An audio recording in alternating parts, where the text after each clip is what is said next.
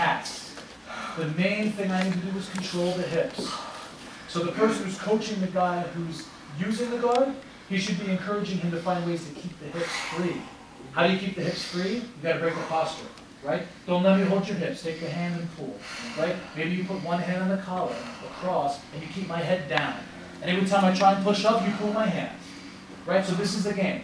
You try and keep me down by pulling the hand and pulling the neck, and as soon as I try and reestablish my base, you're gonna pull the head again and take the grip off. Right? That's the game. That's the game for the guy in the guard. Okay?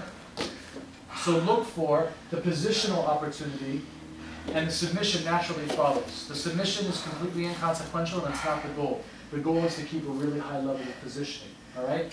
Another case in point, Carlos, uh, sorry, Charlie was getting passed, and then he was mounted.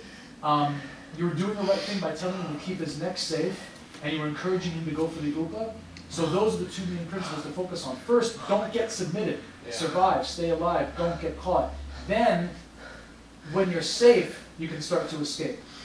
Okay? So good job, guys, both of you. Now,